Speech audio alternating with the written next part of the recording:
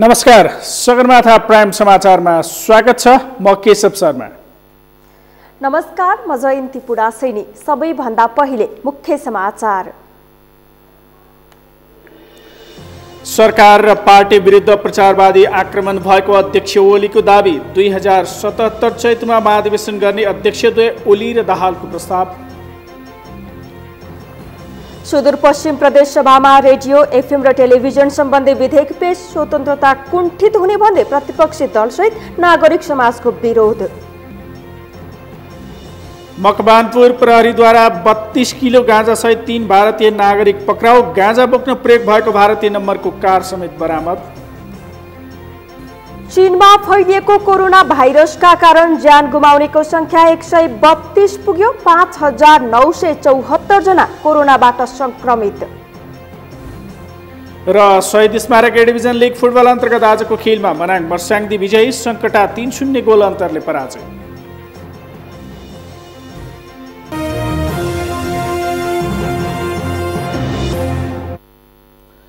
अब समाचार विस्तारमा।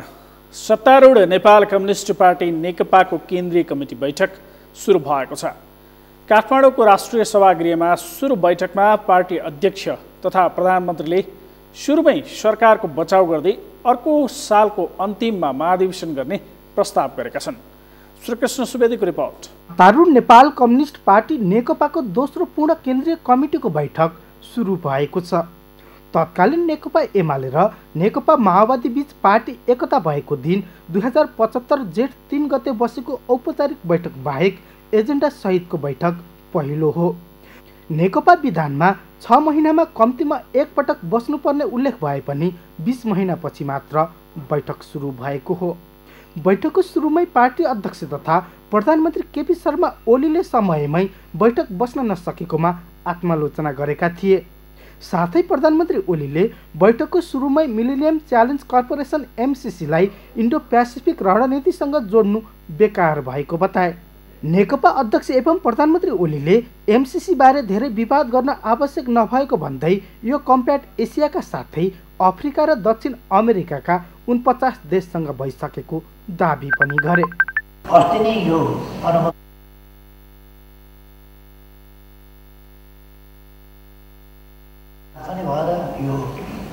खर्च पनि हामीले चाहिँ मिलाउनु पर्ने त्यस्तो खालको अवस्था बनेको छ। केन्द्रीय कमिटी बैठकमा सदस्यहरूबाट चर्को आलोचना हुने भएपछि प्रधानमन्त्री ओलीले बैठकको सुरुमै एमसिसी बारे लामो स्पष्टीकरण दिएका हुन्। प्रधानमन्त्री ओलीले कसको हिडन इन्ट्रेस्ट के छ भनेर खोज्दै जाने हो भने नेपालले अन्तर्राष्ट्रिय सम्बन्ध नै राख्न नसक्ने पनि दावी गरे।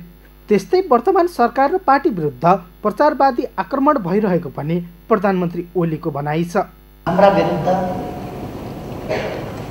प्रचार युद्ध डरलाग्दो गरी छेडिएको छ। युद्ध मात्रै होइन कि त्यो प्रचार आक्रमण छेडिएको छ। युद्ध त दुईतिरवटा हुन्छ। हामीले युद्ध गरेका छैन आक्रमण मात्रै हो। तर हामी वाद विवादबाट होइन हामी हाम्रा उपलब्धिहरूबाट कामका परिणामहरूबाट नतिजाहरूबाट जवाब दिँदै आएका छौँ र नतिजाहरूबाट हामी जवाब बैठकमा नेकपा अध्यक्ष द्वय ओली र पुष्पकमल दाहालले दुई हजार सतहत्तर चैतमा महाधिवेशन गर्ने प्रस्ताव केन्द्रीय कमिटीमा राखेका छन्। दुवै अध्यक्षको तर्फबाट दाहालले प्रस्तुत गरेको राजनीतिक प्रतिवेदनमा आगामी मङ्सिरसम्म स्थानीय र प्रदेश तह र दुई हजार सतहत्तर चैत पच्चिसदेखि तिससम्म राष्ट्रिय महाधिवेशनको मिति प्रस्ताव गरेका हुन्। साथै महाधिवेशन अगाडि देशव्यापी अभियान सञ्चालन गर्ने प्रस्ताव गरिएको छ। उक्त अभियान आगामी फागुन एक गतेदेखि सुरु भएर असार मसान्तसम्म सम्पन्न गर्नुपर्ने योजना अध्यक्ष दोहीले केन्द्रीय कमिटीमा राखेका छन्। सगरमाथा टेलिभिजनका लागि क्यामेरा पर्सन सुरेन्द्र राउतका साथ श्रीकृष्ण सुवेदी काठमाडौँ। यसै सन्दर्भमा सगरमाथा जनबोलीमा आज हामीले नेकपा केन्द्रीय सदस्यहरूलाई सोधेका थियौँ एकता पछिको पहिलो पटक सुरु केन्द्रीय कमिटी बैठकमा कस्ता एजेन्डा उठाउनुहुन्छ? हेरौँ नेकपा केन्द्रीय सदस्यहरूको प्रतिक्रिया उनीहरूकै शैलीमा।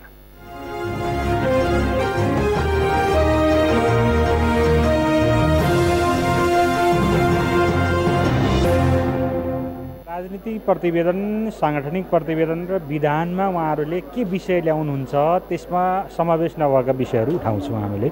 मुख्य गरेर विधान प्रतिवेदनमा केन्द्रित भएर अरू त्यसमा छुटेका समसामयिक विषयहरू उठाउँछौँ। छुटेका कुराहरूलाई हामी समावेश गर्नेछौँ र अथवा अझै जोड दिनुपर्ने कुराहरू जस्तो सरकारले ल्याइसकेका कुरालाई पनि अथवा त्यो झारा टार्ने खालको रहेछ भने हामी त्यस्तो गर्नु हुँदैन भनेर पार्टीमा जोरदार रूपमा ग्रुप डिस्कसनमा भाग लिएर हामी त्यसलाई अन्तिम चरणमा पुर्याउनेछौँ। पार्टी एकीकरणको सन्दर्भमा तल्लो तहसम्म पुग्नको निम्ति अलिकति समय लाग्यो। र अब मुलुक कतिपय ठाउँमा उपनिर्वाचनको सन्दर्भ पनि थियो। अलिकति त्यहाँ पनि अलमल भयो। राष्ट्रिय सभाको निर्वाचन पनि थियो। सत्ता सरकार सञ्चालन गर्ने कुराहरू पनि थिए। त्यही भएर अलिकति विलम्ब भयो। तर अब चाहिँ यसरी ढिलो हुनुहुन्न। समयमै चाहिँ बैठक बस्नु राम्रो यो जनताहरूको पक्षमा लानको निम्ति त्यस्तो किसिमको प्रभावकारी चाहिँ बाटो खोज्न पऱ्यो र कार्यान्वयन गर्न पऱ्यो र त्यस्तो किसिमको चाहिँ मेकानिजम तयार गर्न पऱ्यो। जो कि साँच्चै जनताले चाहिँ अब कम्युनिस्ट पार्टीको सरकार छ भन्ने कुरा चाहिँ प्रत्याभूति गर्न पऱ्यो त्यस्तो खालको कुरा चाहिँ गर्न विशेष रूपमा हामी त्यो आग्रह गर्न चाहन्छौँ। सङ्गठनलाई सुदृढ गर्ने काम नै यतिखेरको मुख्य कुराहरू हो। एउटा सङ्गठन सन्दर्भमा यो कामलाई तदारुकताका साथ सम्पन्न गर्ने कुराहरू हामी उठाउँछौँ। त्यसपछि अहिले तत्कालका समसामयिक राजनीतिक स्थितिहरूको बारेमा कुरा उठाउँछौँ। सरकारको भूमिकालाई अझ प्रभावकारी बनाउने कुराहरू पनि हामीले जोरदार रूपमा उठाउँछौँ। आवश्यक सुझाव त्यो पढेर दिइन्छ। अर्को भनेको माथिल्लो पार्टीको स्थायी कमिटीदेखि तल्लो तहसम्म तेत्तिस प्रतिशतको जुन कुरा छ तेत्तिस प्रतिशत अनिवार्य रूपमा राख्नुपर्ने कुरालाई जोरदार रूपमा उठाउँछ यो बिचमा केन्द्रीय कमिटीको बैठक तिन पटक भइसक्नु पर्थ्यो र आज भएको छ। तर पनि आगामी दिनमा पार्टीले जे विधि पद्धति बनाएको छ विधानमा यसका बैठकहरूको सञ्चालन गर्नेदेखि लिएर समग्र विषयमा हामीले जे व्यवस्था गरेका छौँ त्यसको उल्लङ्घन आगामी दिनमा हुँदैन भन्ने कुराको एउटा सुनिश्चितता हामी चाहन्छौँ। यस जनबोलीका प्रायोजक। आफ्नो विश्वास हो। हो आफ्नो विश्वास हो। त्रिशक्ति सिमेन्ट। नेकपाका तर्फबाट सभामुख निर्वाचित भएका अग्निप्रसाद सापकोटाले निर्वाचित भएपछिको पहिलो दिनको पहिलो बैठक सञ्चालन गरिसकेका छन्। तर आगामी दिनमा संसद सञ्चालन गर्दा संसदीय मूल्य मान्यता अनुसार संसद सञ्चालन त छँदैछ प्रमुख प्रतिपक्षी दललाई समेत विश्वासमा लिएर सदन सञ्चालन गर्ने चुनौती भने रहेको सत्ता पक्षकै नेताहरूले स्वीकार गरेका छन्। अमृतराज काफ्लेको रिपोर्ट। परिपक्व राजनीतिक व्यक्तिको छवि भएका सापकोटा दुई पटक मन्त्री भएको भए पनि संसद सञ्चालनमा उनको पहिलो अभ्यास हो। निर्वाचित भएपछि सापकोटाले मङ्गलबार पहिलो बैठक सञ्चालन गरे। पहिलो दिनको बैठकमा दलका शीर्ष नेताहरूले उनी आफैलाई बधाई दिने कार्यसूची राखिएका कारण सहजै बैठक सञ्चालन भयो। तर प्रतिपक्षको संसद भन्ने स्थापित मान्यता अनुसार प्रमुख प्रतिपक्ष दल नेपाली काङ्ग्रेसलाई पर्याप्त समय दिनुपर्ने एकातिर त अर्कातिर सरकारको कामलाई सहज बनाइदिने सरकारको अपेक्षालाई पुरा गर्न सापकोटालाई चुनौती हुने सत्ता पक्षकै नेताहरूले बताएका छन्। तिस वर्षसम्म मैले उहाँसँग राजनीतिक सहकार्य गरेँ। उहाँ शिक्षक सङ्गठनको नेता हुँदाखेरि म विद्यार्थी सङ्गठनको नेता थिएँ र शिक्षक सङ्गठन मात्रै होइन उहाँ खास गरी ती तिन पटकसम्म सिन्धुपाल्चोकबाट निर्वाचित पनि हुनुभयो र पार्टीको एउटा महत्त्वपूर्ण भूमिका आन्दोलनको भूमिकामा सहभागी भएर अगाडि बढेको व्यक्तित्व भएको हुँदाखेरि उहाँले चाहिँ यस प्रकारका चुनौतीहरूको सामना गरेर सबैलाई मिलाएर लिएर जाने लोकतान्त्रिक मूल्य मान्यतालाई अझ संस्थागत गर्ने प्रक्रियामा आफ्नो भूमिकालाई झन बलियो र प्रभावकारी बनाउनु हुनेछ भन्ने कुरामा म आशावादी छु। प्रमुख प्रतिपक्ष दल नेपाली काङ्ग्रेसका सभापति शेर बहादुर देवालले सभामुखमा निर्वाचित भएपछि बधाई दिने क्रममै भनिसकेका छन्। प्रतिपक्ष दललाई विश्वासमा लिन नसके संसद सञ्चालनको प्रभावकारितामाथि प्रश्न उठ्न सक्छ। त्यसबाहेक सरकारलाई संसदप्रति उत्तरदायी बनाउने विषय पनि सभामुखको चुनौतीका रूपमा रहेको प्रतिपक्ष दलको भनाइ छ। चुनौती त पार्लिमेन्टमा यत्रो धेरै यता विभिन्न पार्टीहरू छन् यति विधेयकहरू आएछन् मिडिया मिडिया विधेयक छ अब त्यो सुरक्षा सम्बन्धी विधेयक छ तपाईँहरू अलिक अप्ठ्यारो अप्ठ्यारो विधेयकहरू छन् अब एमसिसीकै बारेमा छ तमाम कुराहरूलाई मिलाएर अब सदनबाट पास गर्नुपर्ने छ। र उहाँहरूले त्यस ती विधेयकहरू बारेमा उहाँ पास गर्ने र यसलाई अलि मतलब प्रजातन्त्रको खिलाफ जाने जे प्रावधान छन्। त्यसलाई अब हटाउनको लागि उहाँको त भूमिका हुन्छ नै यसमा यी सबै त चुनौती नै उहाँहरूका सभामुखमा निर्वाचित भएपछि सापकोटाले संसदीय मान्यताअनुसार संसद सञ्चालन गर्ने सँगै संसदको गरिमा कायम राख्न मेहनत गर्ने बताइसकेका छन्। जनप्रतिनिधि स्थलका रूपमा रहेको प्रतिनिधि सभामा जनचासोको विषयमाथि गम्भीर छलफल चलाएर जनतालाई आफ्ना समस्याको समाधान हुने स्थलका रूपमा संसदलाई लैजाने उनले भनिसकेका छन्।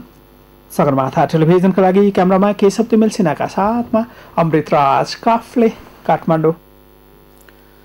सभामुख अग्निप्रसाद सापकोटा र भारतीय कार्यवाहक राजदूत डाक्टर अजय कुमार बीच शिष्टाचार भेटवार्ता भएको छ। सिंहदरबार स्थित सभामुख सापकोटाको कार्यकक्षमा उहाँहरूबीच भेटवार्ता भएको हो। भेटवार्ताका क्रममा सभामुख सापकोटालाई कार्यवाहक राजदूत डाक्टर अजय कुमारले सफल कार्यकालको शुभकामना दिनुभएको छ। भेटका क्रममा नेपाल भारत सम्बन्ध समितिको पुस्तक समेत डाक्टर अजय कुमारले हस्तान्तरण गर्नुभएको थियो। यसअघि चिनिया राजदूत हाउ एनसीले सभामुख निर्वाचित भए लगत्तै भेटेर शुभकामना दिनुभएको थियो। दिगो विकास लक्ष्य कार्यान्वयनमा भएका गतिविधि सम्बन्धमा दिगो विकास समितिले अनुगमन गर्ने भएको छ।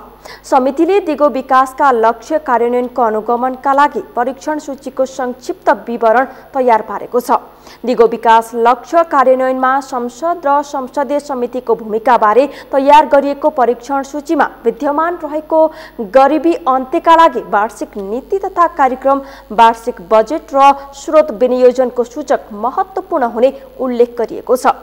सूचक पूरा गर्न नयाँ कानुन तर्जुमा वा परिमार्जन नीतिगत र प्रक्रियागत सुधारको आवश्यकता मध्य र दीर्घकालीन कानुनी सुधारको एजेन्डा बजेटको पर्याप्तता संसदीय निगरानीभित्र पर्ने विज्ञ पूर्णचन्द्र भट्टराईले बताउनुभयो। जोडिएर आएको छ छ दीर्घकालीन विकास जोडिएको छ। यसका सूचकहरू भनौँ आएको चाहिँ दिगो विकास लक्षित नेपाल सरकारको मार्गचित्र आवधिक योजना र संस्थागत संरचना यति नै मुख्य विकासका लक्ष्यहरू देखिएको छ। यसका सूचकहरूमा वार्षिक तथा कार्यक्रम आउँदाखेरि मौका दिगो विकासको लेन्स हेर्दाखेरि त्यो कहाँ पुरा गर्न सकेको छ त यी पर्सपेक्टिभबाट त्यो हेर्नुपर्नेछ वार्षिक बजेटको कुरा छ स्रोतको विनियोजनको कुरा छ। कहिले हामी योजनामा ठुलो कुराकानी गर्छौँ तर वार्षिक योजना आउने मौका योजना चटक्कै छोडेर फेरि भिन्दै विषयवस्तु आउँछ। भोकमरीबाट उन्मुक्तिका लागि न्यून पोषित जनसङ्ख्या विश्वव्यापी खाद्य सुरक्षा सूचकाङ्क जमिनको उत्पादकत्व बिउ बिजन सुरक्षण र कृषि क्षेत्रमा बजेटको प्रतिशतलाई मुख्य सूचकका रूपमा राखिएको छ।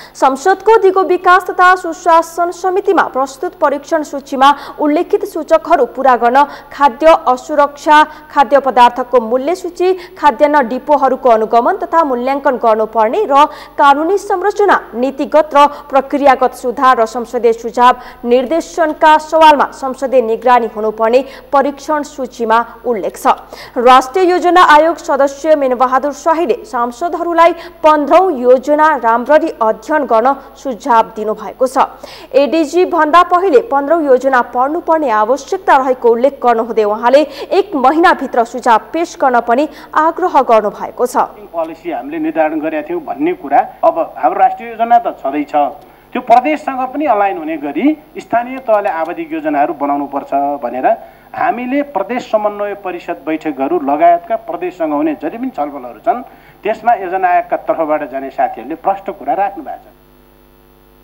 समावेशिता पर्यावरण लैङ्गिक समानता सुशासन र गरिबी निवारणलाई दिगो विकास लक्ष्यका साझा आधारका रूपमा लिएको छ। सुदूरपश्चिम प्रदेश सभामा गत सात गते रेडियो एफएम र टेलिभिजन सम्बन्धी विधेयक टेबल भएको छ। प्रदेशका आन्तरिक मामिला तथा कानुन मन्त्री प्रकाश बहादुर शाहले टेबुल गरेको विधेयकमा प्रतिपक्षी दलसहित नागरिक समाजले विरोध गरिरहेका छन्। सरकारले प्रेस स्वतन्त्रतालाई कुण्ठित गर्ने गरी विधेयक ल्याएको भन्दै सच्याउन माग भइरहेको छ। कैलालीबाट दिनेश विष्टको रिपोर्ट। सुदूरपश्चिम प्रदेश सरकारका तर्फबाट आन्तरिक मामिला तथा कानुन मन्त्रालयले यही माघ सात गते रेडियो एफएम र टेलिभिजन सम्बन्धी विधेयक प्रदेश सभामा टेबुल गरेको छ। सभामा टेबुल भएसँगै विरोध सुरु भएको विधेयकको सैद्धान्तिक छलफलमा भाग लिँदै प्रतिपक्षी नेपाली कङ्ग्रेस र विपक्षी राजपाले विधेयक सच्याउन सुझाव दिएका छन्। काङ्ग्रेस सांसद भरतबहादुर खड्का र श्यामलाल राणाथारू तथा राष्ट्रिय जनता पार्टी राजपाका सांसद मालामती राणाले संविधानको मर्म विपरीत प्रदेश सरकारले विधेयकमा प्रवादन राखेको आरोप लगाएका छन्। प्रदेश सरकारले संविधानको मूल मर्म विपरीत मिडियालाई नियन्त्रण गर्न खोजेको प्रतिपक्षको आरोप छ। र केन्द्रमा दुई हजार त्रिहत्तर सालमा आम सञ्चार नीति कानुन बनेको छ। र सुदूरपश्चिमको सन्दर्भमा पनि हामीले आम संसार नीति बनाएर मात्रै यो विधेयकलाई प्रवेश गराउनु पर्थ्यो भन्ने मेरो आग्रह किनभने हाम्रो सुदूरपश्चिमका सातवटा पहाडी जिल्ला दुईटा तराईका छन्। हाम्रो यहाँको परिवेश फरक छ। त्यसैले समष्टिगत रूपमा सुदूरपश्चिमको आम सञ्चारको नीति हामी सरकारवालासँग विज्ञसँग बसेर सुदूरपश्चिमको आम संसारको नीति तय गरिसकेपछि विधेयकलाई त्यसपछि प्रवेश गर्दा अझ यो परिष्कृत रूपमा आउँथ्यो। हामीले कतै चुकेको मलाई अनुभव भएको छ। विभागीय मन्त्रीलाई मिडिया बोर्डको अध्यक्ष बनाउने र बोर्डलाई सम्पूर्ण अधिकार दिने विधेयकको प्रावधान गलत रहेको प्रतिपक्ष दलको भनाइ छ। रेडियो टेलिभिजन सहितका मिडियाले स्वतन्त्र रूपमा काम गर्न पाउनुपर्नेमा मिडियालाई सरकारको छायामा राखेर सरकारले लोकतन्त्र र नागरिकका अधिकारको विरुद्धमा जाने नियत देखाएको उनीहरूको आरोप छ। सांसदहरूले सञ्चार माध्यमलाई सङ्कुचित गर्ने नियतका साथ प्रदेश सरकारले विधेयक ल्याएको आरोप लगाएका छन्। सरकारले सम्मान गरेकै हो। त्यसकारण चाहिँ प्रेस स्वतन्त्रतालाई स्वतन्त्रै हामीले चाहिँ सम्मान गर्नुपर्छ। जो पन्ध्र लाख जरिवाना र पाँच वर्ष कैद यो एकदमै गलत हो र प्रदेश सरकारले मलाई लाग्छ सङ्घीयको यो प्रेस रेडियो एफएम सूचना सम्बन्धी विधेयक नबन्दै हामी प्रदेशमा बनाउन गइरहेका छौँ। सायद मलाई लाग्छ प्रदेश सरकारले एउटा चाहिँ आफ्नो सुविधा हुने खालको एउटा विधेयक बनाउन गइरहेको छ जस्तो मलाई लागेको छ नेकपाबाट प्रतिनिधित्व गर्ने प्रदेश सभा सदस्यले भने विधेयकका राम्रा पक्षको चर्चा गरेर सरकारको बचाउ गरेका छन् सत्तारूढ नेपाल कम्युनिस्ट पार्टी नेकपाका सांसदहरूले सञ्चार माध्यम पनि पूर्वाग्रही बन्न नहुने भन्दै केही कमजोरी भए विषयगत समितिमा दफाबार छलफल गरी पुरस्कृत र समृद्ध बनाउने बताएका छन् यो प्रदेशमा हामीले यो विधेयकको जुन हामी विधेयकलाई हामी ऐनको रूपमा निर्माण गर्दैछौँ यसको धेरै ठुलो महत्त्व छ। र साथसाथै विभिन्न परिवर्तनका आन्दोलनहरूमा पनि सञ्चार जगतको ठुलो भूमिका रहेको छ। रेडियो एफएम र टेलिभिजन सम्बन्धी विधेयकका लागि प्रदेश सरकारले प्रदेशका नौवटै जिल्लामा छलफल र सुझाव सङ्कलन समेत गरेको थियो। सुझाव सङ्कलनकै क्रममा विधेयक सच्याएर कानुनको रूप दिन सुझाव आइसकेको थियो। सुदूरपश्चिम प्रदेश सभामा उद्योग पर्यटन वन तथा वातावरण मन्त्री माया भट्टले थप दुईवटा विधेयक टेबल गरेकी छिन्। आगामी बैठकमा संसदमा ती विधेयकमा छलफल हुनेछ। कानुन निर्माणले तीव्रता पाउनु सकारात्मक भए पनि सरकारवालासँगको छलफल बिना हचुवामा कानुन ल्याउँदा भने त्यसले उपलब्धिभन्दा धेरै घाटा पुर्याउन सक्छ। यसतर्फ पूर्व सङ्घीय चरणमा काम गर्ने सरकार र संसदभित्रका सांसदहरू सबै सचेत हुन आवश्यक छ। सगरमाथा टेलिभिजनका लागि कैलालीबाट दिनेश विष्टको रिपोर्ट। सगरमाथा प्राइम समाचारमा एकैछिन विश्राम। विश्रामपछि मकवानपुर प्रहरीद्वारा बत्तीस किलो गाजासहित तीन भारतीय नागरिक पक्राउ। गाजा बोक्न प्रयोग भएको भारतीय नम्बरको कार समेत बरामद। काठमाडौँमा भुस्या कुकुरको संख्या बढ्दो। महानगरले खर्च गर्ने गरेको वार्षिक बहत्तर लाख रुपियाँको प्रतिफल देखिएन। र चीनमा फैलिएको कोरोना भाइरसका कारण ज्यान गुमाउनेको संख्या एक सय बत्तीस पुग्यो। पाँच हजार नौ सय चौहत्तर जना कोरोनाबाट संक्रमित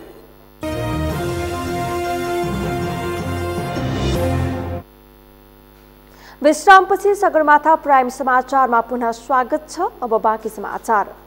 मकवानपुर प्रहरीले गोली प्रहार गरी तीनजना गाजा तस्करलाई बत्तीस किलो गाजासहित पक्राउ गरेको छ। पक्राउ पर्नेमा भारत मजफ्पुरका पैँतिस वर्षीय कार चालक सञ्जित पासवान कारमा सवार पैँतिस वर्षीय अजयमल हवारी र पैँतालिस वर्षीय जाहेरा खातुन रहेका छन्। मङ्गलबार राति पूर्व पश्चिम राजमार्गको हेटौडा एघार थाना भर्याङमा प्रहरी चेकिङ टोलीले मनहरीबाट हेटौडातर्फ जाँदै गरेको बिआर शून्य छ जे चार चार पाँच आठ नम्बरको कार रोकी जाँच गर्न खोजेको थियो। कार नरोकी भाग्न खोजेपछि एउटा प्रहरी कार्यालय हेटौडाका प्रहरी निरीक्षक ईश्वरी प्रसाद भण्डारीले एक राउन्ड हवाई फायर गर्दा पनि कार नरोकेपछि टायरमा गोली प्रहार गरी नियन्त्रणमा लिएको जनाइएको छ। के गर्यो भन्दाखेरि त्यो गाडी नियन्त्रणमा आयो। नियन्त्रणमा आएर हेर्दाखेरि तपाईँले अघि गाडी हेर्नुभयो त्यसको फल्स बटमभित्र सिट मुनि चाहिँ तपाईँले देखिहाल्नुभयो बत्तिस किलो गाँजा विभिन्न प्याकेट सोह्रवटा प्याकेटमा यति राम्रो फाइन प्याकेजिङ छ यति राम्रो प्याकेटमा चाहिँ गाँजा ओसार पसार गरेको देखियो। प्रहरीले कारको पछाडिको सिटमा फर्स बटम बनाई सोह्रवटा पोकामा लुकाइराखेको बत्तीस किलो गाँजा बरामद भएको छ। गाँजा तस्करलाई नियन्त्रणमा लिएर ल्याउने क्रममा बसले प्रहरी भ्यानलाई ठक्कर दिँदा घाइते भएका प्रहरी निरीक्षक भण्डारी र खातुनको चुरेहिल अस्पतालमा उपचार भइरहेको छ। शहीद सप्ताहको अवसरमा शहीदहरू गङ्गालाल श्रेष्ठ र दशरथ चन्दको शालिक अनावरण गरिएको छ। शोभा भगवती विष्णुमती नदी किनारमा निर्माण गरिएका शालिकहरूको काठमाडौँ महानगरपालिकाका मेयर विद्यासुन्दर साक्यले अनावरण गर्नुभएको हो। काठमाडौँ महानगरपालिका वडा नम्बर पन्ध्रको संयोजनमा महानगरले सोह्र लाख दस हजार रुपियाँ सहयोग गरेको छ। शालिक निर्माणमा करिब अठार लाख रुपियाँ खर्च भएको छ। शालिक महेश तुलाधरले निर्माण गर्नुभएको हो। शहीदहरूको शालिक अनावरण गर्दै मेयर साक्यले उहाँहरूले गरेको योगदान आगामी पुस्तासम्म जस्ताको त्यस्तै पुर्याउन शालिक निर्माण गरिएको बताउनुभयो। मेयर साक्यले शहीद सप्ताहको अवसरमा शहीद गङ्गालाल हृदय केन्द्रमा अक्सिजन प्लान्ट निर्माणका लागि तीन करोडको सम्झौता गरिएको पनि बताउनु भएको छ। स्वाक्यले सोह्र गते धर्मभक्त माथेमाको सम्झनामा वडा नम्बर तेइसमा धर्मभक्त स्मृति पार्कको उद्घाटन गरिने बताउनु भएको छ। राष्ट्र र जनताप्रति समर्पित भएर चौबिस वर्ष अगाडिदेखि निरन्तर रूपमा महानगरवासीहरूको मात्र होइन सिङ्गो देशवासीको मन जित्न सफल त्यस्तो केन्द्रमा पनि अहिलेसम्म अक्सिजन प्लान्ट नभएको अवस्थामा उहाँहरूको मागअनुसार काठमाडौँ महानगरपालिकाले नगरसभाले निर्णय गरेर तिन करोडको बजेट विनियोजन गरेका थियौँ भने आज हामीले दुई पक्ष सम्झौता गरेका छौँ। त्यो अक्सिजन प्लान्ट खरिद गरेर लाग्ने सम्पूर्ण खर्च काठमाडौँ महानगरपालिकाले बिहोर्ने भनेर हामीले सम्झौता गरेर आएका छौँ। यसले पनि एउटा राम्रो काम हामीले थाल्ने गरेका छौँ। शहीद सप्ताहको अन्तर्गत शहीदहरूलाई सम्झेर शहीदकै नाममा स्थापित हस्पिटलमा हामीले एउटा अक्सिजन प्लान्टको जलान गर्ने गरिकन कार्य अगाडि बढाएका छौँ विक्रम सम्मत उन्नाइस सय सन्तानब्बे साल माघ पन्ध्र गते चन्द्र श्रेष्ठलाई शोभा भगवतीमा मृत्युदण्ड दिएको थियो। शहीद स्तम्भ तत्कालीन काठमाडौँ नगर पञ्चायतले दुई हजार छत्तिस साल माघ पन्ध्र गते शिलान्यास गरेर दुई हजार सैँतिस साल माघ सत्र गते अनावरण गरेको हो भने शालिक चुकमुङ्गल बस्ने प्रचण्डलाल श्रेष्ठले दुई हजार अन्ठाउन्न साल माघ पन्ध्र गते सप्ताह लगाएर प्राण प्रतिष्ठा गरी स्थापना गराउनु भएको हो। यसअघि वडा नम्बर सात सिफलमा शहीद धर्मभक्त माथेमाको र गत वर्ष वडा नम्बर बाह्र स्थित टेकु पचोलीमा शुक्रराज शास्त्रीको पूर्णकतको शालिक प्रतिस्थापन गरिसकिएको छ। यससँगै महानगरले विक्रम सम्मत उन्नाइस सय सन्तानब्बे सालमा प्रजातन्त्रका लागि शहादत प्राप्त गर्ने चारैजना शहीदको पूर्णकतको शालिक प्रतिस्थापन गराइसकेको छ। त्रिभुवन विश्वविद्यालयले निकालेको स्वतन्त्र विद्यार्थी युनियनको प्रस्तावित निर्वाचन कार्यतालिका बदनियतपूर्ण भएको नेवी सङ्घले आरोप लगाएको छ। त्रिवीले फागुन चौध गतेका लागि निर्वाचन घोषणा गरिरहँदा आएको नेवी सङ्घको यस्तो टिप्पणीलाई जानकारहरू भने सङ्गठन अध्यावधिक नहुँदाको परिणाम ठान्छन्। रूपेश कुमार यादवको रिपोर्ट। त्रिभुवन विश्वविद्यालयले स्वतन्त्र विद्यार्थी युनियन स्वेब्युको प्रस्तावित निर्वाचन कार्यतालिका सार्वजनिक गरेसँगै विद्यार्थी सङ्गठनहरू तरङ्गित बनेका छन्। समयमै अधिवेशन हुन नसकेर विघटित अवस्थामा रहेको नेवी सङ्घले त्रिवीको यो कदमलाई बदनियत भनेको छ। चुनावको एक महिना अघि कार्यतालिका सार्वजनिक नहुनु आफैमा बदनीयतापूर्ण रहेको नेवी सङ्घका पूर्व सभापति नयन सिंह महर बताउँछन्। एक महिना अघि पनि प्रस्तावित कार्यतालिका नै हुनु आफैमा संशयपूर्ण भएको महर बताउँछन्। यसपटकको चुनावको सवालमा बाहिर जसरी आङ्कलन गरिएका छन्। हामी सशङ्कित छौँ त विश्वविद्यालयको प्रति छौँ। विश्वविद्यालय प्रशासन स्वयं नेपालको प्रधानमन्त्री कुलपति हुने व्यवस्था र त्यताबाट स्वतन्त्र विद्यार्थी युनियनको गतिविधि जसरी सञ्चालन हुनुपर्ने हो जुन किसिमले तयारी गर्नुपर्ने हो त्यो तयारी अलिकति शङ्कास्पद छ। हिजो मात्रै हिजो टाइम टेबल पा प्रकाशन गर्नुपर्ने हो।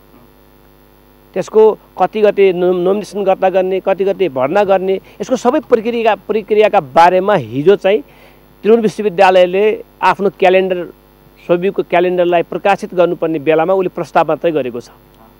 त्यसकारणले हामी सशङ्कित भइरहेका छौँ। जहाँसम्म नेपाल विद्यार्थी सङ्घको नेतृत्वको कारणले भन्ने कुरा छ स्वतन्त्र विद्यार्थी युनियनको चुनाव आउने बेला नोमिनेसनको बेला नेपाल विद्यार्थी सङ्घको सेक्रेटरी साइन लाउने व्यक्ति नेपाल विद्यार्थी सङ्घले प्राप्त गर्छ अध्यक्ष प्राप्त गर्छ र स्वतन्त्र विद्यार्थी युनियनको चुनावमा नेपाल विद्यार्थी सङ्घ एक डिक्का भएर अगाडि बढ्छ। यसमा समस्या छैन।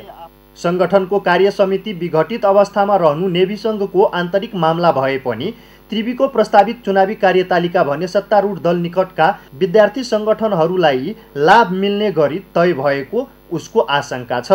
त्रिवीको आङ्गिक र सम्बन्धन प्राप्त क्याम्पसहरूमा हाल कायम रहेका कतिपय सोभियुस कार्य समितिको कार्यकाल पनि यही फागुन तेह्रमा सकिँदैछ।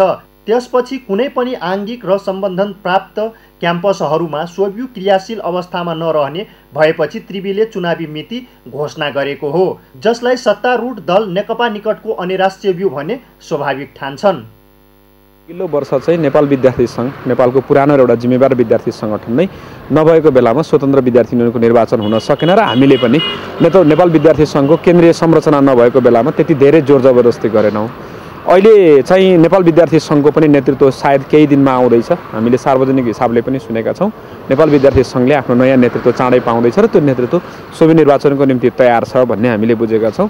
र व्यक्तिगत हिसाबले पनि हामी उहाँहरूसँग सम्पर्क गरिरहेका छौँ र सबै नेवी सङ्घका साथीहरू पनि कार्यकर्ता नेताहरू पनि स्वतन्त्र विद्यार्थी युनियनको पक्षमा हुनुहुन्छ। स्वतन्त्र विद्यार्थी युनियन गराउने पक्षमा नेवी सङ्घ मात्रै होइन राष्ट्रव्यू मात्रै होइन सबै विद्यार्थी सङ्गठनहरू तयार छौँ। नेपालको विद्यार्थी आन्दोलनको एउटा महत्त्वपूर्ण कोसे ढुङ्गा अथवा निर्वाचित संस्था नै नभए नहुँदा यसले शिक्षा क्षेत्रमा राजनीतिक क्षेत्रमा राष्ट्रियता जनजीविकाको मुद्दाहरूमा सडकको आवाज कमजोर भएको छ भन्ने कुरामा हामी सबै सहमत छौँ। यद्यपि सोभि निर्वाचन सम्बन्धी सबै सङ्गठनका आफ्नो आफ्नो बुझाइ र धारणाहरू छन् तर सबै हामी चाहिँ सोभि निर्वाचन हुनुपर्छ भन्ने पक्षमा सबै विद्यार्थी सङ्गठनहरूलाई पाउँछौँ। त्रिभुवन विश्वविद्यालय अन्तर्गत रहेका विद्यार्थी कल्याण तथा निर्देशनालयका अनुसार चुनावका लागि विभिन्न विद्यार्थी सङ्गठनहरूलाई सँगै लैजाने प्रयास भएकोले प्रस्तावित कार्यतालिका निकालिएको हो। फागुन चौधमा निर्वाचन प्रभावित नहुने गरी अन्य कार्यतालिकाका विषयमा भने लचकता अप्नाउन सकिने त्रिवीले जनाएको छ। यसका लागि नेभी सङ्घले केही समय मागेकाले त्यसमा त्रिवी समेत सकारात्मक देखिएको छ। बैठकमा पनि केही विद्यार्थी सङ्गठनका साथीहरूले अब एउटा महत्त्वपूर्ण सङ्गठनै हो नेभी सङ्घ उसको चाहिँ उपस्थिति भएन बैठकमा भन्ने जिज्ञासाहरू राख्दाखेरि हामीले उहाँहरूसँग हाम्रो पार्टीगत रूपमा भातृ सङ्गठन नेपाली काङ्ग्रेसको भएको हुनाले हामीले चाहिँ काङ्ग्रेस पार्टीको सम्बन्धित विभाग हेर्ने प्रमुखसँग कुराकानी भएको छ। एक दुई दिनभित्र हामी नेभी सङ्घको प्रतिनिधि दिन्छौँ तपाईँहरूलाई भन्ने कुरा राखेको हुनाले। हामीले त्यसो भने यो एक दुई दिन वेट गर्नु राम्रो हुन्छ भन्ने हिजो पनि छलफल भएको थियो र हामी आशा गरेका छौँ हामीलाई एक दुई दिनमा नाम आउँछ। त्रिविका बैसठी आङ्गिक र निजी तथा सामुदायिक गरी एक हजार हाराहारीमा सम्बन्धन प्राप्त क्याम्पसहरू छन्। यसअघि सम्पूर्ण क्याम्पसहरूमा दुई हजार पैँसठी सालमा स्वेब्यू चुनाव गराएको त्रिवीले कार्यकाल सकिँदा पनि सबै क्याम्पसहरूमा नियमित निर्वाचन गराउन सकेको छैन। विवादका कारण केही क्याम्पसहरूमा मात्र दुई हजार सालमा पुनः चुनाव भएको थियो। तर दुई हजार तिहत्तरमा भएको चुनावी कार्य समितिको कार्यकाल पनि कहिले अदालती प्रक्रिया त कहिले विभिन्न कारणहरूले दुई वर्ष लम्ब्याउन सफल भए पनि यही फागुन तेह्रमा भने त्यस यता कार्य समितिको पनि समयावधि गुज्रिँदैछ। यो समयावधिमा पनि चुनाव हुन नदिने चलखेल हुन खोजिएपछि त्रिवी सचेत बनेको छ।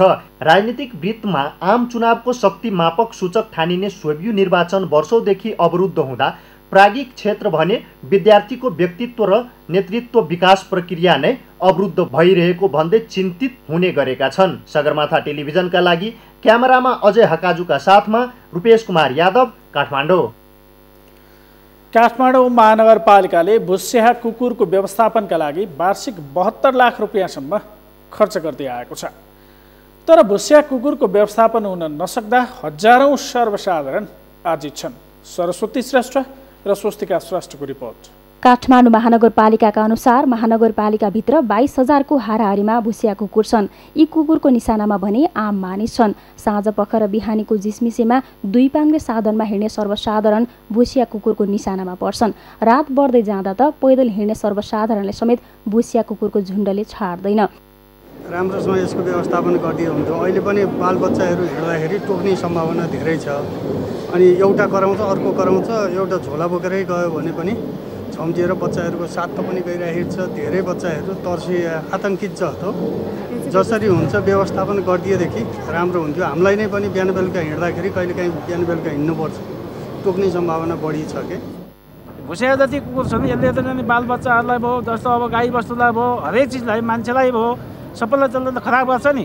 बाटोमा चाहिँ गन्दा फोहोर चाहिँ दुनियाँ फोहोर कहाँ कहाँबाट टिपेर ल्याउँछ बाटोमा शुद्ध ठाउँमा चाहिँ अशुद्ध बनाइन्छ।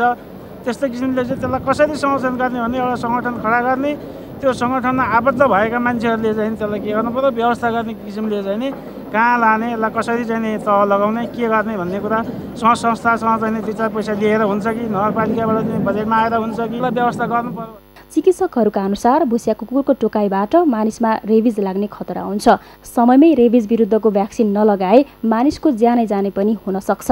तर मानिसमा बढ्दै गएको चेतना स्तरले रेबिज विरुद्धको खोप लगाउन अस्पताल पुग्ने सर्वसाधारणको सङ्ख्या पनि बढ्दो छ। शुक्रराज ट्रपिकल तथा सर्वरोग अस्पतालको रेकर्ड अनुसार महिनामा औसत नौ हजारजना सर्वसाधारणले रेबिज विरुद्धको खोप लगाउने गरेका छन्। जसमा कुकुरकै कारण टोकेर खोप लगाउन आउनेको सङ्ख्या अधिक छ। यावत तथ्यले समेत काठमाडौँमा भुसिया कुकुरको टोकाइबाट पीडित हुनेहरूको अवस्था झल्किन्छ। भुसिया कुकुरकै व्यवस्थापनका लागि वार्षिक बहत्तर लाख रुपियाँसम्म बजेट खर्चिँदै आएको काठमाडौँ महानगरपालिकाले भने कुकुरको बन्ध्याकरण र कुकुरलाई खोप लगाएर आजित छ। महानगरपालिकाका अनुसार सो बजेटबाट वार्षिक बाह्र हजार कुकुरको बन्ध्याकरण गरिँदै आएको छ भने चौध हजार जति कुकुरमा रेबिजको खोप समेत लगाउने गरिएको छ। तर काठमाडौँ महानगरपालिकाले भुसिया कुकुर जति नै व्यवस्था गरे पनि अन्यन्त्रबाट वार्षिक थपिने गरेका पन्ध्र सयवटा कुकुर चुनौती बन्ने गरेका छन्।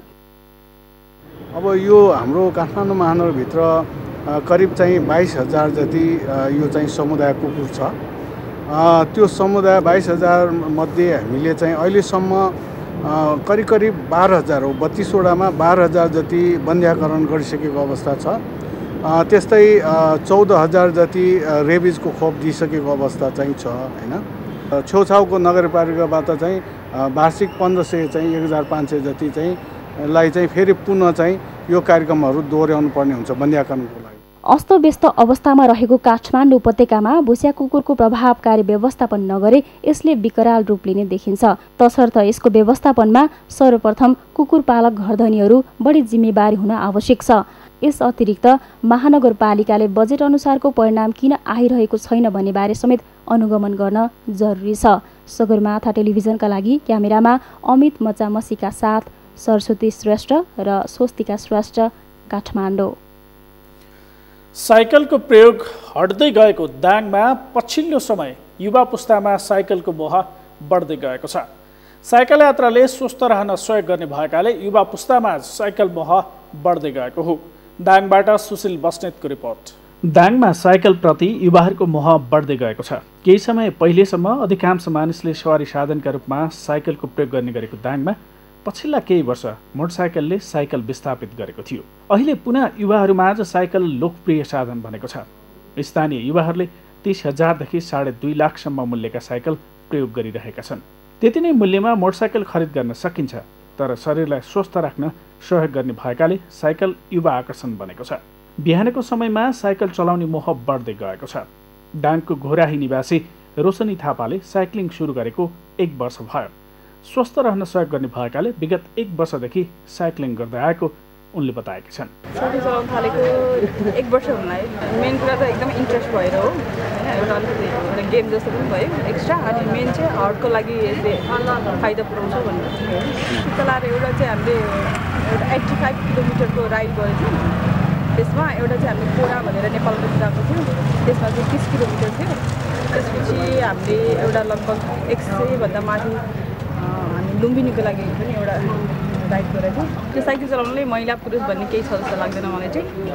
किनभने साइकल चलाउनुलाई अब अलिकति स्ट्यामिना हो। अब हामीले कतिको एक्सर्साइज गर्नेहरू ओमअपहरू गर्नेहरूलाई त एकदमै सजिलो हुन्छ। स्ट्यामिना जसको छ त्यसलाई चाहिँ एकदम सजिलो हुन्छ। र साइकल चलाउनुपर्छ महिला पुरुष जसले पनि। सबैको लागि नै फाइदाजनक छ। मेन हर्टको लागि राम्रो हुनु भएको भएर साइकल चलाउन एकदम जरुरी छ। अहिले दाङमा साइकलमा दैनिक बिस पच्चिस किलोमिटर यात्रा गर्नेहरू धेरै छन् तर उनीहरूले भने साइकलका लागि लेन नहुँदा समस्या भएको गुनासो गरेका छन्। उनीहरूले साइकलले पर्यटन प्रवर्धनमा समेत सहयोग गर्ने भएकाले साइकल लेनको विकास गर्न माग गरेका छन्।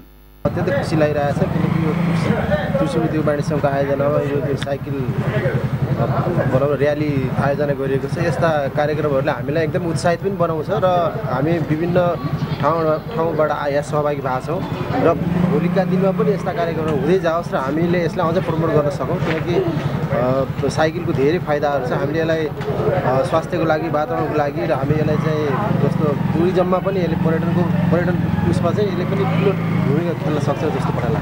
दाङमा साइक्लिङ गरिरहेकाहरूले नेपाल भ्रमण वर्ष दुई हजार बिसलाई प्रवर्धन गर्नका लागि तुलसीपुरदेखि पुरनधारा झरनासम्मको सतसट्ठी किलोमिटर साइक्लिङ गरेका छन्। दाङको साइकल यात्रामा महिलाहरू समेत सहभागी हुने गरेका छन्। साइकलका लागि आवश्यक लेनको विकास गर्न सके वातावरण प्रदूषण कम गर्नका साथै यसले पर्यटन प्रवर्धनमा समेत टिवा पुग्नेछ। सगरमाथा टेलिभिजनका लागि दाङबाट सुशील बस्नेतको रिपोर्ट। सगरमाथा प्राइम समाचारमा एकैछिन विश्राम। विश्रामपछि चीनमा फैलिएको कोरोना भाइरसका कारण ज्यान गुमाउनेको सङ्ख्या एक सय बत्तिस पुग्यो पाँच हजार नौ सय चौरात्तर सङ्क्रमित। र शहीद स्मारक डिभिजन लिग फुटबल अन्तर्गत आजको खेलमा मनाङ मर्स्याङले विजयी सङ्कटा तिन शून्य गोल अन्तरले पराजय।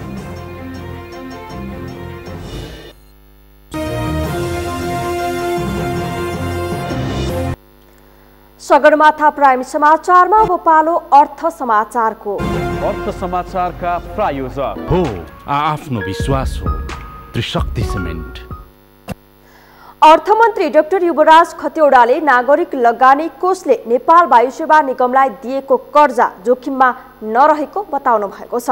सङ्घीय संसद प्रतिनिधि सभा अन्तर्गतको अर्थ समितिको आजको बैठकमा अर्थमन्त्री खतिवडाले नागरिक लगानी कोषले निगमको वाइट बडी खरिदमा गरेको लगानीको भुक्तानीको प्रक्रिया सुरु भइसकेकाले जोखिम कम हुँदै गएको बताउनु भएको हो। नागरिक लगानी कोष ऐन दुई हजार सडचालिसलाई संशोधन गर्न बनेको विधेयकमाथिको दफावार छलफलका क्रममा उहाँले निगमले समयमै ऋण तिरिसक्ने विश्वास सरकारले गरेको बताउनु भयो त्यसमा पनि एयरलाइन्सहरू कसरी डुब्छन् भन्ने त व्यवसाय गरेको मान्छेहरूलाई नि थाहा छ। त्यस कारणले पनि झस्किनु भएको त्यो म बुझ्न सक्छु। तर मुख्य कुरा के हो भने सरकारले यस्तो लगानी कुनै संस्थाहरूको ग्यारेन्टी बस्दा त्यो संस्थालाई को सम्पूर्ण ऋण तिर्न सक्ने क्षमता विकास गर्ने कार्ययोजना बिजनेस प्लान र सरकारको ग्यारेन्टीमा भोलि त्यो ग्यारेन्टी बसे पनि पैसा तिर्नुपर्ने स्थिति नआओस् भन्ने मानिसहरूले जुन भन्नुभएको छ त्यो कुरा हामी सबैले सुनेका छौँ। बैठकमा विधेयकका विभिन्न दफामा संशोधन प्रस्ताव राख्नुभएका सांसद दिव्यमणि राज भण्डारीले नागरिक लगानी कोषले नेपाल वायु सेवा निगमको वाइट बडी खरिदमा गरेको लगानी डुब्न लागेकाले ऐन मार्फत त्यस प्रकारका लगानी गर्न नदिने व्यवस्था गर्नुपर्ने बताउनुभयो। यस्ता यो जोखिम हुने चिजहरूबाट चाहिँ हामीले फ्युचरमा चाहिँ अप्ठ्यारो नपरोस् भन्नको निम्ति चाहिँ यो संस्थाले लगानी गर्दा किन यसमा दुई चिज छ एउटा ट्रस्टीको कुरा आयो एउटा ट्रस्टीको कुरा आयो अर्को चिज चाहिँ यो हामी चाहिँ कमर्सियल्ली कुनै चाहिँ यत्रो ठुलो इन्स्टिट्युसन बनाएर यत्रो चाहिँ डिपोजिटर्सहरूको चाहिँ सेक्युरिटीको निम्ति कुरा गर्ने भएको कारणले गर्दाखेरि यो तिनवटा व्यवस्था होस् भनेर चाहिँ मैले प्रस्ताव राखेँ बैठकमा सांसद सुरेन्द्र प्रसाद पाण्डेले संसदबाट पास गरेर नेपाल वायु सेवा निगमलाई सरकारको ग्यारेन्टीमा लगानी कोषबाट कर्जा उपलब्ध गराएकोले निगमले भुक्तानी गर्न नसके पनि कोषलाई कुनै नोक्सानी नहुने बताउनुभयो। कानुन पास गरेर सायद डाक्टर बाबुरामजी यहीँ हुनुहुन्थ्यो। उहाँ अर्थमन्त्री भएको बेलामा त्यो चाहिँ पार्लियामेन्टमा गएर त्यो अन्तर्गत यसलाई दिने भनेर पास भएको हो यो विशेष केस हो। यसको अवस्था के हो भने यो यदि नेपाल एयरलाइन्सले तिर्न सकेन भने यो के अरे लगानी कोषले यहाँ लगानी गरे भए पनि त्यो पैसा नेपाल सरकारले तिर्नुपर्छ। यसको कुरा चाहिँ त्यो हो। त्यसमा लगानी कोष डुब्दैन। लगानी कोषलाई त उसले लगाएको मात्रै हो सरकारले। किन यसको जवाबदेही सरकारले ल्याएको छ? Hundred percent. म जमानत बसेर लगानी गर्ने भने हुनाले यो समस्या पर्छ भन्ने मलाई लाग्दैन। त्यस्तै समितिको बैठकले नागरिक लगानी कोष ऐन दुई हजार सडचालिसलाई संशोधन गर्न बनेको विधेयकमा सामान्य संशोधनसहित छलफल टुङ्ग्याएको छ। संशोधनपछि विधेयकमा नागरिक लगानी कोषको सञ्चालक समितिमा महिला सदस्यहरूको सहभागिताको सुनिश्चितता गर्न सांसदहरू सहमत भएका छन्। त्यस्तै विधेयकमा लगानी कोषको प्रमुख कार्यकारी अधिकृतको योग्यता अनुभवबारे छलफल भएको थियो। यसलाई संशोधन गर्न बनेको विधेयकको सन्दर्भमा दफावार छलफल सकिएको छ। अब समितिमा केही मान्य सदस्यज्यूहरूबाट संशोधनहरूको बारेमा मन्त्रालयले मन्त्रीज्यूले स्वीकार गर्नुभएको छ र यो मिलाएर ल्याएर अन्तिम गर्ने चाहिँ हामी गते पछाडि खबर गर्छौँ। छिट्टै नै यो चाहिँ टुङ्गी अब छलफल टुङ्गिएको छ। समिति सभापति कृष्ण प्रसाद दाहालले अर्थ समितिको अर्को बैठकमा विधेयकमा संशोधन भएका विषयलाई मिलाएर अन्तिम रूप दिने चन्द्रपुर उपमेयर कप राष्ट्रिय महिला लीग फुटबल प्रतियोगिता अन्तर्गत आज सम्पन्न दुई खेलमा वालिङ नगरपालिका र विराटनगर महानगरपालिका विजयी भएका छन्। रौतहटको चन्द्रनिगाहपुर स्थित स्वर्गीय शेरबहादुर दर्लामी हातेमालो खेल मैदानमा सम्पन्न पहिलो खेलमा सुर्खेतको वीरेन्द्रनगर नगरपालिकालाई शून्यका विरुद्ध तीन गोलले हराउँदै स्याङ्जाको वालिङ नगरपालिका विजयी भएको हो। खेलमा Waling नगरपालिकाकी Saraswati Hamal woman of the match घोषित भइन्। त्यस्तै दोस्रो खेलमा बर्दियाको भास्करी नगरपालिकालाई शून्यका विरुद्ध एक गोलले पराजित गर्दै विराटनगर महानगरपालिका विजयी भएको छ। खेलमा Biratnagar महानगरपालिकाकी Sarita Sherpa woman of the म्याचबाट पुरस्कृत भइन्। यो जितसँगै वालिङ नगरपालिका र विराटनगर महानगरपालिका सेमी फाइनल प्रवेश गरेका छन्। यो सँगै हामी सगरमाथा प्राइम समाचारको अन्त्यमा छौँ। अन्त्यमा मुख्य समाचार फेरि एकपटक सरकार र पार्टी विरुद्ध प्रचारवादी आक्रमण भएको अध्यक्ष ओलीको दावी। दुई हजार सतहत्तर चैतमा महाधिवेशन गर्ने अध्यक्षद्वय ओली र दाहालको प्रस्ताव। सुदूरपश्चिम प्रदेश सभामा रेडियो एफएम र टेलिभिजन सम्बन्धी विधेयक पेश स्वतन्त्रता कुण्ठित हुने भन्दै प्रतिपक्षी दलसहित नागरिक समाजको विरोध। मकवानपुर प्रहरीद्वारा बत्तीस किलो गाँजा सहित तीन भारतीय नागरिक पक्राउ। गाँजा बोक्न प्रयोग भएको भारतीय नम्बरको कार समेत बरामद। चीनमा फैलिएको कोरोना भाइरसका कारण ज्यान गुमाउनेको संख्या एक सय बत्तीस पुग्यो पाँच हजार नौ सय चौहत्तर जना कोरोनाबाट संक्रमित र शहीद स्मारक डिभिजन लिग फुटबल अन्तर्गत आजको खेलमा मनाङ मर्स्याङ विजयी सङ्कटा तिन शून्य गोल अन्तरले पराजित।